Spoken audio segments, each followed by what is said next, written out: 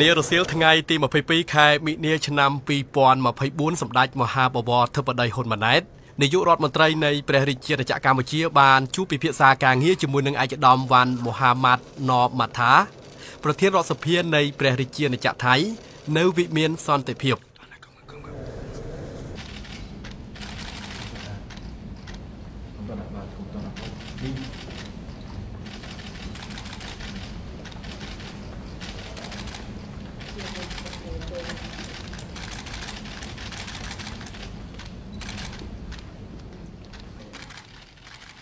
នៅក្នុងឱកាសនៃជំនួបនេះផងដែរឯកឧត្តមប្រធានរដ្ឋសភានៃព្រះរាជាណាចក្រថៃបានថ្លែងអំណរគុណចំពោះសម្ដេចធិបតី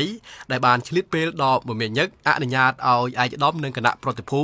បានចូលជួបសម្ដែងការគូសំនិងពិភាក្សាការងារព្រមទាំងបានថ្លែងអំណរគុណផងដែរចំពោះប្រសិទ្ធភាពនិងរដ្ឋសភានៃព្រះរាជាណាចក្រកម្ពុជាដែលបានទទួលស្វាគមន៍ឯកឧត្តមនិងគណៈប្រតិភូយ៉ាងល្អប្រពៃយ៉ាងកក់ក្ដៅនៅក្នុងឱកាសបំពេញទស្សនកិច្ចការងារនាពេលនេះ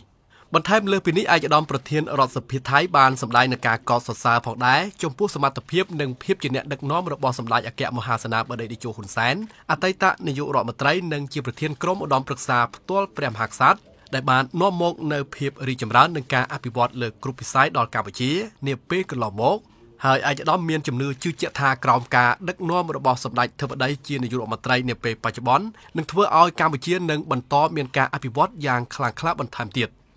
ឯកឧត្តមប្រធានរដ្ឋសភាថៃក៏បានបង្ហាញពីការទំនាក់ទំនងរវាងស្ថាប័ននីតិបញ្ញត្តិហើយរដ្ឋសភានៃប្រទេសទាំងពីរនឹងឈានទៅដល់ការចុះអនុសារណៈនៃការយោគយល់គ្នាលើការផ្លាស់ប្តូរដំណើរទស្សនកិច្ចរវាងគណៈប្រតិភូសភានៃប្រទេសទាំងពីរ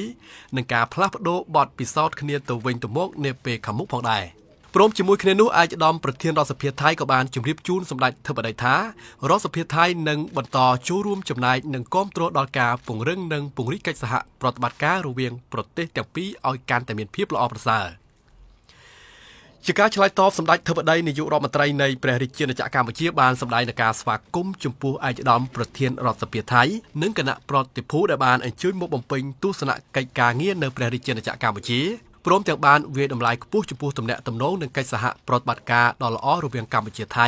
ដែលបានឈានដល់កម្រិតភាពជាដៃគូយុទ្ធសាស្ត្រដែលជាទំនាក់ទំនងដ៏ល្អប្រសើរសម្ដេចធិបតីក៏បានគូបញ្ជាក់ផងដែរថា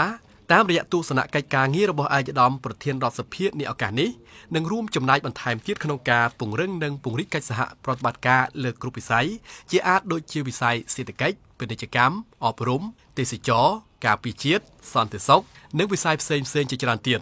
បន្ថែមលើពីនេះសម្ដេចធិបតីក៏បានសម្ដែងនឹងការអរគុណចំពោះរាជរដ្ឋាភិបាលនៃព្រះរាជាណាចក្រថៃ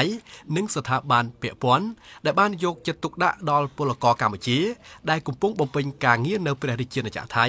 និងបានថ្លែងអំណរគុណផងដែរដល់រាជរដ្ឋាភិបាលថៃលើការផ្ដល់នូវការលើកលែងថ្លៃទឹកតការចេញចូល សម្រាប់ពលករខ្មែរដែលនឹងធ្វើដំណើរត្រឡប់មកកម្ពុជានៅក្នុងឱកាសនៃពិធីបុណ្យចូលឆ្នាំប្រពៃណីជាតិខ្មែរ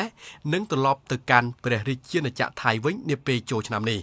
មុននឹងបញ្ចប់សម្ដេចធិបតីនិងឯកឧត្តមប្រធានរដ្ឋសភាថៃក៏បានពិភាក្សាគ្នានិងផ្លាស់ប្ដូរយោបល់គ្នាក្នុងការលើកកម្ពស់កិច្ចសហប្រតិបត្តិការសម្រាប់បញ្ហាតំបន់និងអន្តរជាតិដើម្បីចូលរួមចំណែកក្នុងការកសាងសន្តិភាពស្ថិរភាពសាមគ្គីភាព និងវិបុលភាពនៅក្នុងតំបន់ហើយក៏បានពិភាក្សាអំពីកិច្ចសហប្រតិបត្តិការលើការពង្រឹង និងពង្រីកការអភិវឌ្ឍវិស័យ Digital ការប្រយុទ្ធប្រឆាំងបញ្ហាគ្រឿងញៀនបទល្មើសបច្ចេកវិទ្យាបទឧក្រិដ្ឋកម្មឆ្លងដែន និងការឆបោកតាមប្រព័ន្ធអនឡាញផងដែរ។